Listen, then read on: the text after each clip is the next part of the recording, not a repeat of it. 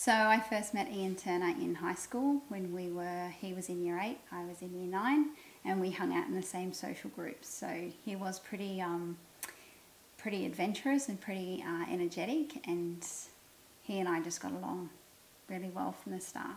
It was always his sole focus to be in the military, even um, he would never want to mark his body, never want to scar anything because he always thought he'd be a spy or something important.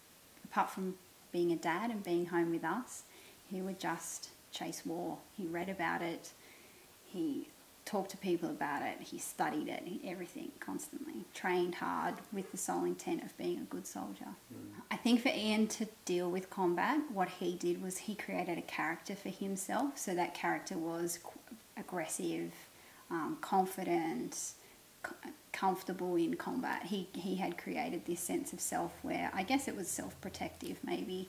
Uh, and he was a good soldier. It's just that he stopped. Like he would then come home, and at home he was a completely different person.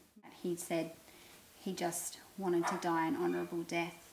And he would start doing, I think, well, he told me he would do more risk type things and he would do things himself instead of sending his guys to do stuff to kind of, in a way, put himself in that risk because eh, that's just what he wanted.